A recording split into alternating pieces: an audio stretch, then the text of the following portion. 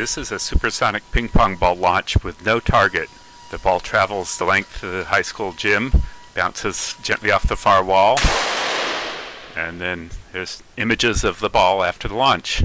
Here's the actual ping pong ball that was just launched in the first part of this video.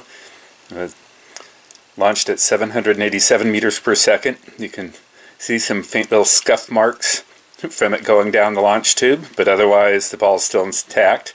Went the length of the gym, bounced off the far wall, but at that point was going slow enough that it didn't harm the ball.